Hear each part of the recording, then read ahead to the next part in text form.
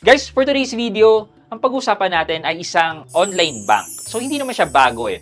Actually, last year gumawa na ako ng account dito eh. Pero hindi ko alam na na-approve pala yung account ko. Kala ko nawala na lang sa limbo yung application ko. And ano ba to? 6% daw interest rate per annum ang binibigay niya. And credited din on a daily basis. Wow. Yan.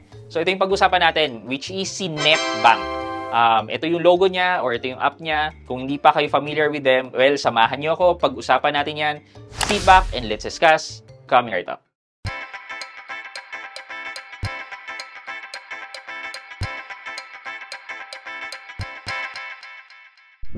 Hi guys, this is Pat and you're in Pat Quintos Review TV. So if you're new here, my channel, I do reviews about personal finance na meron akong experience or meron akong knowledge na ginawan ko na ng videos and playlists na makita nyo dito sa taas. At kung bago kayo dito sa channel ko, you may want to consider subscribing to my channel. Okay guys, so na-mention ko nga sa inyo na parang nag-apply na ako dito last year pa o last last year. Um, pero hindi ko alam na nag-push through yung application. Parang nung nag-submit ako, parang waiting lang ako hanggang sa nawala na sa isip ko. Tapos sabi ko, parang ayaw naman ako i-approve dyan. Parang napaka-juicy naman yung online bank na yan. So, hinayaan ko na lang. And then sabi ko, eto ngayon, na nagtitingin ako, nagulat ako na 6% na pala ang interest nila na credited din on a daily basis. So, sabi ko, why not? Sige, check natin. Baka naman ma-approve, ma-approve na ako sa application ko ngayon. So, nag-apply ako. But before we go there, check muna natin yung other features na in-offer ni Netbank. Netbank.ph. Sabi dito sa kanyang website, um, Accelerating Filipino FinTech, Netbank is a bank as a service platform allowing fintech to launch and scale fast in the Philippines. Fully regulated daw. And Netbank provides solution for all types of business. So, para more on business daw. To alternative lenders. Um, may payment solution din sila. Neobanks and wallet. Netbank allows payment companies to open account, make payment, collect funds, and issue cards. Wow. Wala akong masyadong maintindihan actually. So, why choose Netbank? We bring the latest technology built from scratch on the API medyo technical term, hindi ko masyadong feel.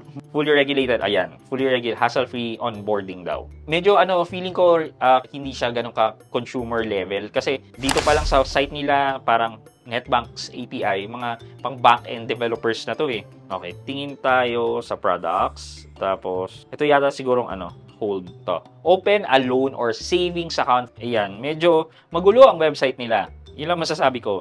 Wala akong makitang uh, information for savings. Yan. Ito kasi fund your clients. Basically, loans to. Transaction accounts. Ito yung mga API, API. Ito mga time deposit. So, walang ano, no? Wala for, for savings. Check natin tong NetBank Mobile. Wala ako nakikitang for savings. Nakikita ko lang ay for time deposit. So, based dito, sabi na meron daw silang 2.01 billion total asset, 142.8 million total equity, and meron daw silang 9.3 million na net profit. Pero para sa 9.3 million na net profit, medyo maliit ang kinikita nyo. Hindi sa minamaliit ko po yung ano ah, yung 9.3 million. Pero para for a bank, feeling ko sobrang liit na itong net profit nyo. So, walang information sa site nila about savings. Pero masasabi ko lang dito, si Netbank ay also known as Community Rural Bank of Romblon. So, ito daw yung ano nila, team nila. Run through na lang natin. Pero, co-founder daw to. Ayan, uh, David De La Paz, si co-founder and president.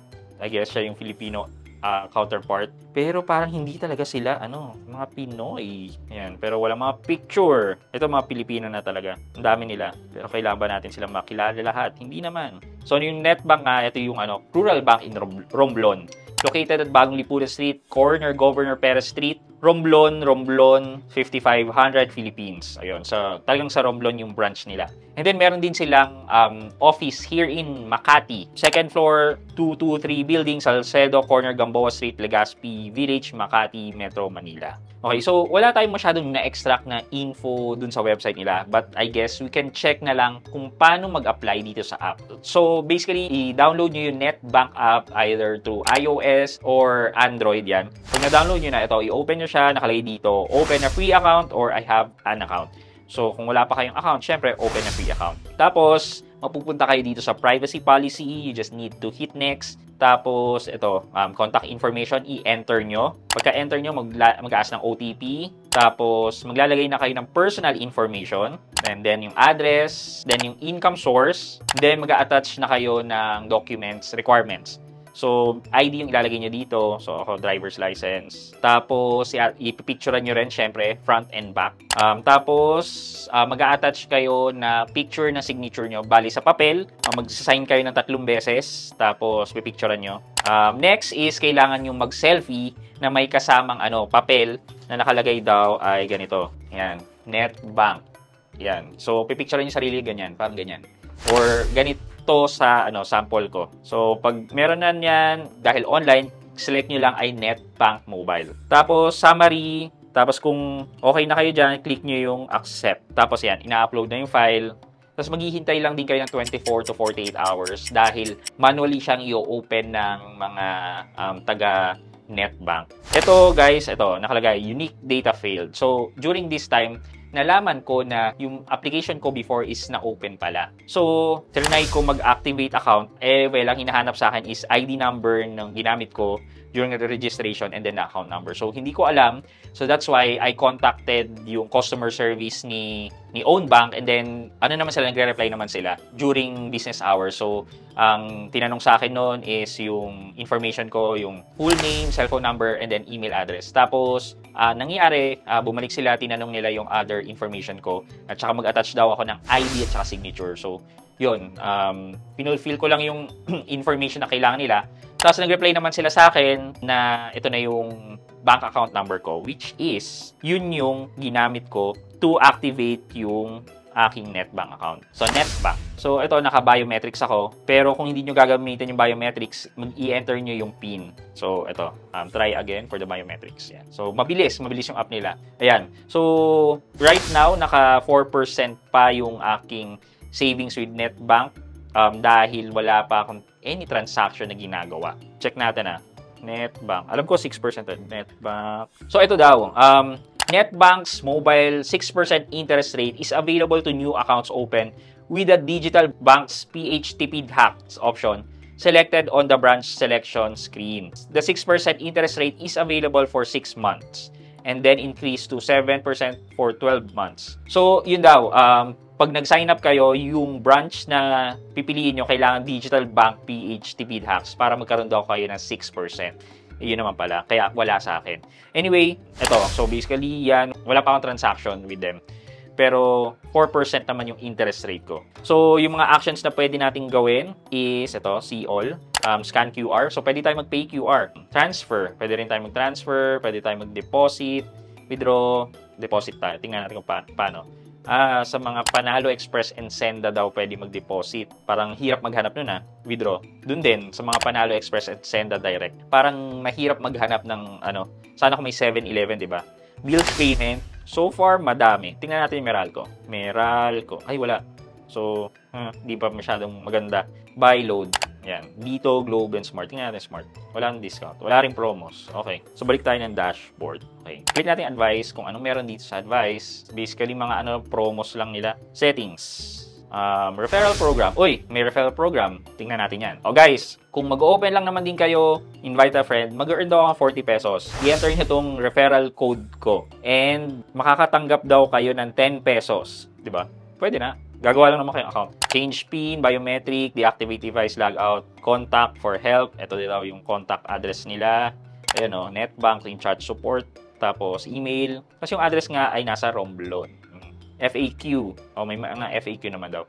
Um, meron din pala silang mga merchant account dito if in case na gusto nyo maging merchant ni Netbank. So guys, yung 6% na interest rate per annum, eh ma-avail nyo siya kay Netbank if ang pipiliin nyo ay yung di- nakalagay na Digital Banks PH Tipid Hacks um, dun sa branch selection screen. So, ito yon dito. Pero iba kasi napili ko. And then, kung may referral na hinahanap, you can use my referral code na lang, which is ito rin, para magkaroon kayo ng 10 pesos na bonus. And then, syempre, magkakaroon ako ng additional bonus na 40 pesos. But, walang ano to ah, walang special arrangement with NetBank. Meron din kayong referral code na nandyan. So, just in case na gusto nyo, nyo rin mag-refer, pag na-create yung account nyo, eh, well, you can do it also. Also, one of the good thing dito kay NetBank, uh, apart from the 6% interest rate niya, eh, unlimited din ang bank transfer. And no cap limit yet para dun sa 6%. So, sa mga early adopters, yan, you may want to check out this online bank para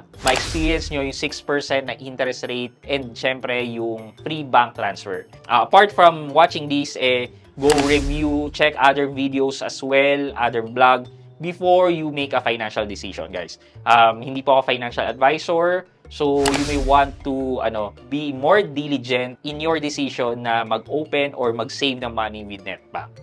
Ayan, so kayo na pong bahala. So basically yan, yan lang yung makikita natin dito kay NetBank. So kung tatanungin niyo ako, recommended ko ba siya? Um, meron ng mga gumagamit talaga ng NetBank eh, para dun sa 6% na, na tinatawag nila. But for me guys, um, hindi ko siya ganun ka gusto. Kung papapiliin ako, um, mas pipiliin ko si C-Bank over kay NetBank dahil siguro sa interest rate na, na nakuha ko, 4.5%. For our question of the day, ang dami na talaga nagsusulputang mga online banks ngayon, mga digital banks. But what's your criteria para lumipat ng ibang bank? At bakit? So let me know sa comment section sa baba at may chance kayo manalo ng 1,000 pesos sa ating weekly Gcash giveaway.